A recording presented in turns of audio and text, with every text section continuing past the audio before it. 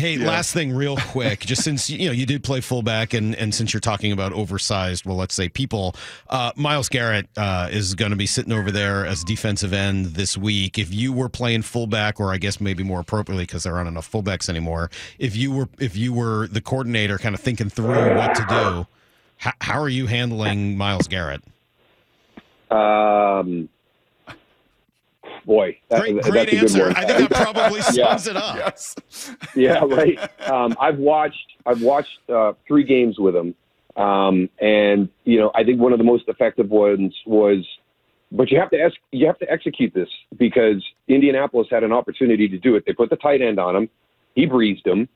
Then the right tackle threw one arm at him. I mean, if you're if you're going to commit two guys to him, make sure those two guys do their job. But I, but I think that's what you have to do. But unfortunately, um, you know, every once in a while, you know, those tackles are going to have to stand on their own two feet and they're going to have to block him one on one. But you can't do that all the time. Um, but I, I have never really seen anybody have a game like he had last weekend. Um, you know, there's, you know, guys that have had the four sack games. You know, we saw Khalil Mack have six. You know, I remember when Derrick, um, oh God, I'm going Derrick back from Kansas City. Yep. Derrick Thomas did seven.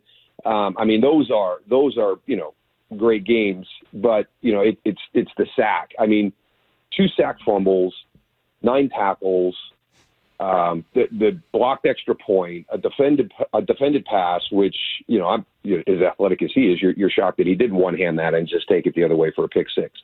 Um, I, I think the athleticism with Myles Garrett is is what makes him unique. Uh, and, and listen, I've, I've had Pittsburgh twice this year. T.J. Watt made a play last week in the Rams game that we did. Uh, you know, he drops in coverage, he reads Matthew Stafford's eyes and comes off and, and, and picks the return route. Um, and then as athletic as he was going, you know, towards the goal line, uh, you know, it was it was amazing to watch that. And then to to watch the highlights of what Myles Garrett did, um, you know, it's it's it's unbelievable. He just you have to understand he's going to make his plays during the game. Do not allow them to be game changing plays the way that, that Indianapolis did. That that that's the biggest thing. Um, you know, when we played Reggie White, when we played Lawrence Taylor, um, they're going to make their plays. Just don't let it be a game changing play uh, because you're never going to shut them out. You're never going to shut a guy like Myles Garrett out for the entire game.